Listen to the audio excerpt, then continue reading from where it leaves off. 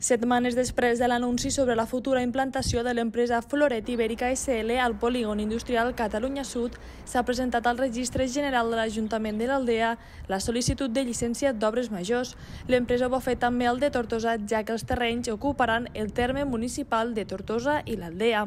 Es preveu que en els propers dies s'execute la primera fase del projecte en una parcel·la de 64.000 metres quadrats. L'empresa Floret, dedicada a la preparació d'aliments vegetals processats en fresc, Fresc invertirà 13 milions d'euros en la construcció de la planta que crearà 200 llocs de treballs directes i 100 indirectes.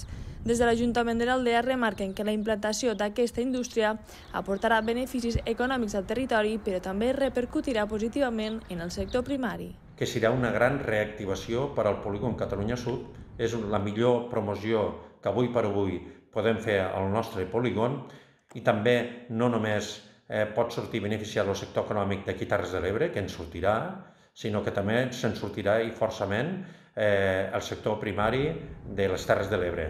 En aquest cas, a pocs, pocs centenars de metres, a menys d'un quilòmetre de distància d'on s'implantarà Indústries Floret, hi ha centenars i centenars d'hectares del, del sector hortícola, en aquest cas de la horta de l'Aldea i d'altres poblacions. La nau de 7.600 metres quadrats podria entrar en funcionament entre la primavera i l'estiu de 2021 amb una producció anual de 25 milions de bosses d'amanides.